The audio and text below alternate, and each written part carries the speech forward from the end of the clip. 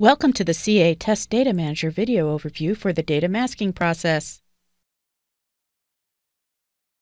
As a test data engineer, or TDE, you can mask data in your data model with the CA Test Data Manager portal. Masking is essential to ensure the security of personally identifiable information that you handle. The data masking process is split into three videos. Using the data discovery process to create a data model scanning that data model for personally identifiable information or PII, and tagging it accordingly. And finally, defining masking rules for columns containing PII and running the masking job. You need to complete all these steps to mask data in Test Data Manager portal. For more detailed information about this product, click the information bubble at the top right corner to load the product page.